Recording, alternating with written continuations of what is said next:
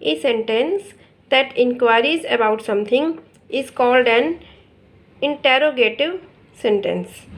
Thank you for watching. Please like, share and subscribe my channel.